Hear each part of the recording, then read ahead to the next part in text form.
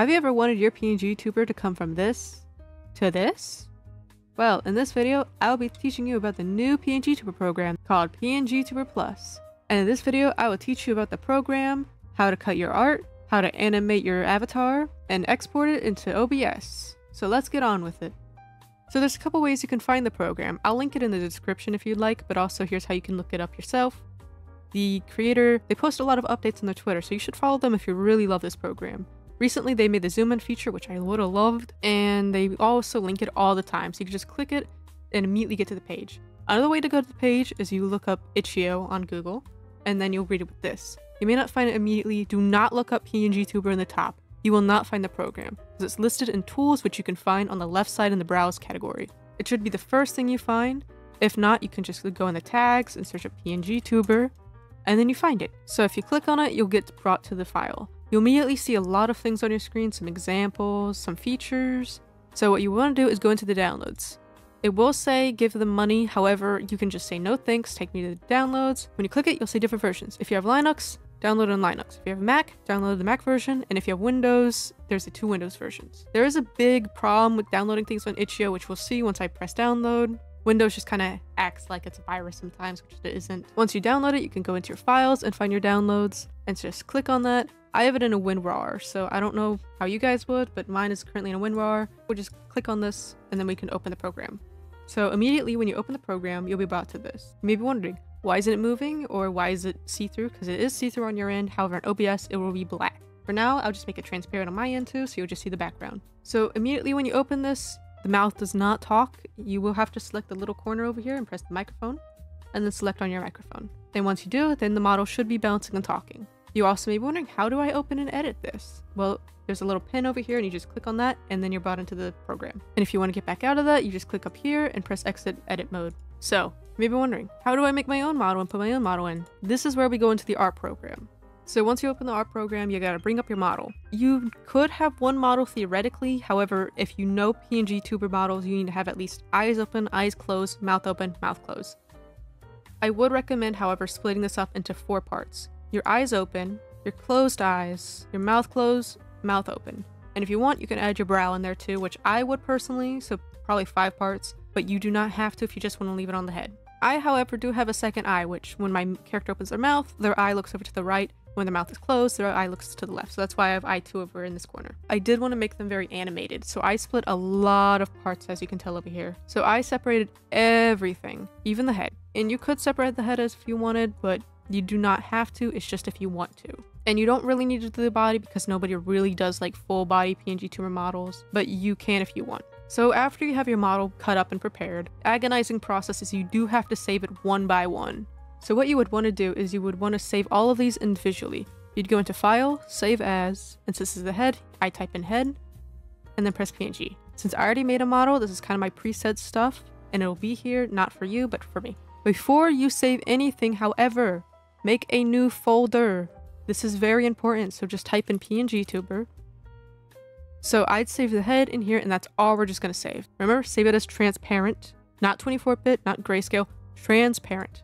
So now that we have a file, just remember to hold it here. This is just our file, just ignore these. Remember, look at just make a file and put all your parts in there. So then we'll go back in the program. So when you're in the program, you will see the model here and you would want to delete it because you could just delete it by deleting the base body since everything is linked to that. And I'll tell you how to do that in a moment. So just delete the body, and nothing. But when you want to add something, you press add sprite. However, you'll notice that your stuff is not in here. If you click on the body, it's just the base body. So do not do that, and if you do, just click the little trash icon. So in this little corner, it says escape to open folder and explore. So when you click escape, you'll see these four options. Do not click anything except for default avatar, because when you try and load a sprite, this is where it will go to.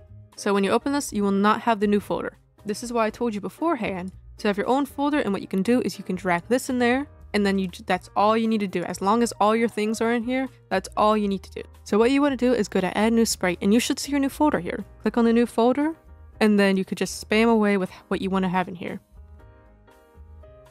So when you first get your sprite done it will look a little iffy like this. We can move things however so let's say you put your head too far in the front you can just press q and it'll go in the back for now we'll keep it at that and just grab the eyebrow and then press e and that's how it gets in the front but before we do anything major, so do not go off doing layers first, click on the mouth open and sync that to mouth open. So click on the mouth close and sync it on mouth close. So now it'll do that. So if you ever want to view this, just press the exit edit mode over here and then you should see your model move like that. And then same thing with the eyes. So this is eye open and then this is mouth open. So it's very easy to sync it to it. So if I had one of the eyes open, mouth open, that's how that looks. This is mouth closed, eye open. And this is... And then for the eyes closed, you could just have it on eyes closed. And since I have two eyes, then I go to open eye 2, click on the second eye, open eye, and then open eye 2. So it'll look very iffy here. So what you want to do is press X, and then it'll look way better. The only thing is it does layers very transparent. If you want to fix that, again, just press E and E. And so it look like it stands out. Now we can get into the actual layering. So for anything you want to be in the front, again, press E. If you ever forget, Q and E to change sprite Z index. Z index is basically the layers. So if you want something to be on top, you press E and it'll be higher. If you want it to be on the bottom, you press Q and it'll be lower.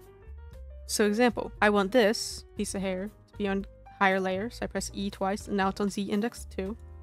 Save for that. This is supposed to be higher, so it'll be on 3. This will be on 3. Well, this will be on 4, and this will be on 5. Alright. So now everything looks a bit more neater, and then we'll do it again. So if you have like the body on high, you can just press Q, and it'll be behind the body. So I'd like to put the body on negatives, but that's just me, so that'll be on negative 1. And try and sync these if they're like they're on the same side. So now that we have everything synced up, I will tell you, I like to use link sprites. So for the eyes, just link it to the head. And if you're ever confused what's linked or not, there's a little symbol right here for what is. And if you need to sync something under it, just spam the button and you'll get to it. And same things with the mouth. And boom, everything's now synced. Side note, if you ever have your model in here and it's way too big, they did fix this so you press control and scroll wheel. So scroll in, you can scroll out depending what you want to do. This was not made before that, so that's why this model is really crunchy because I had to fit into 720 by 720. However, now you can fix it. Another thing is if you ever make your model a little iffy and you need to replace it, just click on replace sprite. And if you have another version, go find it. So let's say in the head. However, I cannot do that because everything's synced to the head. So if I change the sprite of the head, everything with the head will delete. And there's no undo button, so you kind of have to do everything again. So be careful of that. So now we can go into little effects. So the first effect we can go over is squash. Squash is kind of like squash. And if you want to do everything on squash, you have to do it all manually, which is kind of the hard part, even if you sync it. That's kind of what squash does. It just squishes down, which is very nice and animated. So I do like this. So we'll keep this low. For now, I do need to sync the rest. So give me a moment. And again, for the head, you do want to sync the hair. And if you ever do want to clip something, you can see what you do clip it to with the little corner over here. So this is clipped to the head.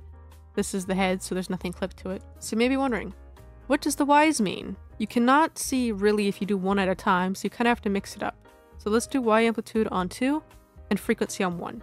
So I'll turn my mic off so we can see this better. So already you can see like it move up and down. So the amplitude shows how much it'll move. And this is really good for idle animations. And this is also really good if you clip things. So let me just clip that and see everything moves together. And if you wonder what Y frequency means, it's how fast it'll go. So if you want more of like a little game animation, you can do something like that. But again, do not try and do like too far or the head will pop out. And it's really hard to catch sometimes. So now we can get into the X. The X is just like the Y, so you got to do a little amplitude, a little frequency. So amplitude again is how much it'll go left to right because this is the X axis, this is the Y axis, which kind of shows here. If we synced everything, we can really kind of just do that. And again, if you want to sync things to the body, so move with the body, and the body can move with the head, then you can go ahead and do that. So yeah, you can have like a little animation going and you can like mix these up too if you just want to have your character like move around. However, if you do try and unsync something like this, it will not go back to the original, which you can see is the X and Y over here, and you can change it from WASD. W brings your thing down, and you can see when you bring it back to zero, that's how that works. A moves it left, D moves it right, and if you ever need to get it back in the middle, you can just kind of click it over here until it's back on zero. So if we do again on the Y frequency to be up and down, you may be wondering, what is index drag? Index drag is kind of how slow it'll go. And you can see the original movement right here compared to the index drag. Okay, so another cool thing I like to do is I like to use rotational drag on some things. So, however, if you do rotational drag on one thing, you kind of have to do it with everything. We'd have to see what our rotational drag is. So this would be 12. Then we have to bring this to 12. Even if it's synced, we still have to bring it. And then boom, it tracked. Now to get into easy animation. So this is just for people who don't want to do the whole shebang. I'll just tell you kind of what you can do. So if you want to make an idle movement, just kind of take the amplitude to something like 4. And I like to set my things to like 23 to 25. So we'll just do it on 25. And everything will be brought to that. If you wanted your character to just not be synced, you can do that. So you can separate the head from the body and make the body move at its own frequency. So I like to do that to have something else kind of moving. So it looks a little alternating. So if you wanted a little delay on the mouth of the body, you could just add a little drag. So the head could kind of pop out, which can be a little weird. It can clip. Be careful of that. And just kind of look around. So this would be on zero, so it will be synced together. Or you can just put like one delay and it's all good. And yeah, I like to add like a little bit of movement down here too. Kind of just a little off sync. So it gives like a breathing type of expression. Again, a good thing you could do is add like a little squash to everything and it'll just give a little bouncy effect. Again with a squash, you do need to make everything the same squash. So if we do the squash at, let's say, 1, then we have to set this squash to 1. Let me just speed this up here. And there we go. Everything kind of squishes together and it looks a little cute. Again, it can make everything a little bit too jumpy if you aren't into that. So things that can sync with the whole clipping is the Y's and X's. So the other things that will not move to the body is the squash, and the rotational drag. So if you ever use those, you got to do it on every single part. All right, so this is kind of like a little guy you could do. And I think this is pretty good. However, if we want to make it better, you can do stuff like squishing everything individually to make it bigger or bouncier, and so on. So if I wanted to make the eyebrow give more of a movement, I could just set this to 2 instead of 1, and it gives like a more bouncy effect. And see how that looks? That looks all nice. So if your model somehow has the same thing I do with like the little effects, you do have to kind of edit it a bit since it will peek out under the mouth. So we'll set this to about 7, then we could set this to 7 as well.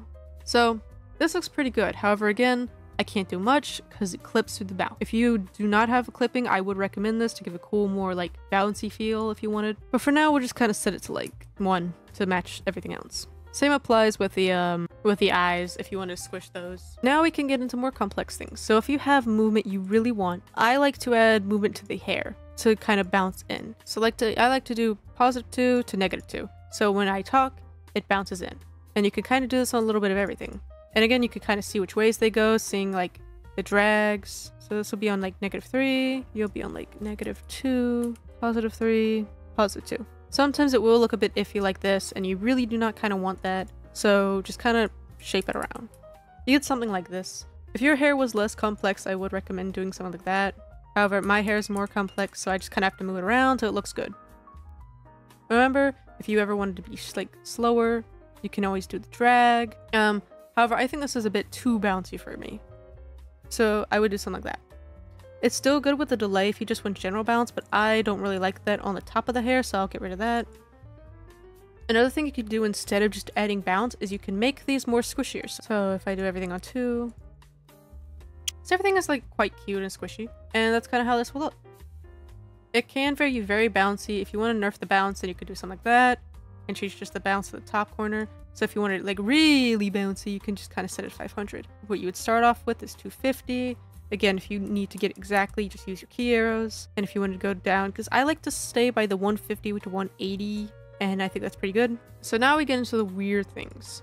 If you ever wanted like a little movement in your hand, you can do something like this, but it's very iffy. If you put both of these on rotational six, one will go out, one will go in. So what I like to do is I like to put one on six and then one on the other side on negative, like I just did the hair.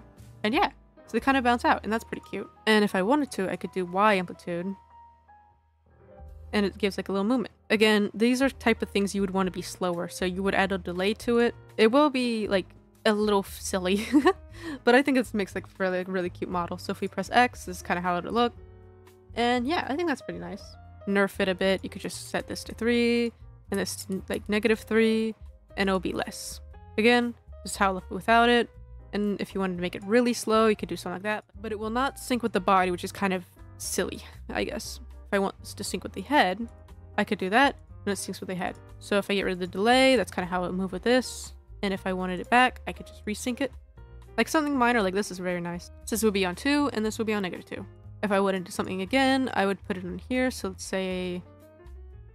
So if I talked, it'll go in and that's all cute and nice. If I wanted, again, minor movement like on the belts, I would click on the belt and add like a squash. But I don't want it to kind of rise out of the pants, so you have to be careful with that. Here is where I really like to make a difference. I could just make it very bouncy, very nice. And so you get something a little like this. But another like minor minor thing is I do like when it bounces in. So what I like to do here is I like to add like negative one. So it goes out like that. And then I add a positive one. So it goes in. And if you ever wanted to off sync these, what you can do is you can make the Y change again. So again, the more you do, the more it's going to move. So always be wary of that. So if I wanted it to move a lot, it'll be like that. Want to move a little, it could be like that. Just as like a little bit of off sync. To be 1 and 23. Remember to copy on both sides because it will not sync otherwise. And there, you get like a nice little over effect too. So let's say I want the arms to sync with the head when it bounces. I could do that. And if you ever wanted to match it, you just kind of click on the head and then you can copy these. So that would be 4 and 23. So here you can set this to 4 so it moves right on sync with the head. Would I recommend this? Not really, but if that's what you want to do, then that's what you can do. I like to really sync it with the body more because I feel like that gives it more of like a breathing look than the head look. So if I set the amplitude back to like 4, again, it's just the minor movements like this which are really nice. You don't really need to add squish if you don't want to, it's all up to preference. And if, again, if you have like a miniature hair, I do recommend you do like a little cute squish. It just gives it like a little bit more of animation, which I think is really nice. Just remember not to add too much movement or else it will like contrast with the head. Sometimes it's really good to sync things like I like to sync the fur with this. So that'd be 1 and 23. So amplitude this one on 1 and 23. Again, you could kind of play with it. So if you like 1, you can move it on 1. If you like none, then you can move it to none. Like, something I like to do is I like to add like a bit of drag and then you get something like this, which is pretty nice. If you did want to make your head rotate and bobble like this, you can always set the rotational drag to 6, but if you do that to one part, you gotta do it to every part. So when you're done with the model, you could just go into the Save Avatar, click on this, and you can save it in here, but I like to save mine in the new folder with all my other stuff, and just do like YouTube. And boom, you got a new model. And if you ever want to load it, you could just go into here. So this is the avatar that came with it. Again, click on that. If you want to go to your model, you just have to find YouTube. And then you got it. So now let's put our model into OBS. As soon as you open OBS, I already have mine, but I'll teach you how. You can press plus, add a add a window capture, type in PNG tuber. I'll have two since I already have one. It may automatically show up. If not, it will be there. So if we switch this to a see-through, it should be see-through. If not, you can always change it from 8-bit to Windows 7. Yep. And on Windows 7, it should be see-through. You could also probably do it through game capture, but I'll just do this for example. Press OK, and that's how you would get PNG Tuber Plus into OBS. And so that reaches the conclusion of this video. If you liked this video and if it helped you, please subscribe and like down below and comment if you need any help. I will be doing a giveaway for a model just like this on twitter.com slash a melodic person. I'll also be using this model on Twitch, so also follow that too.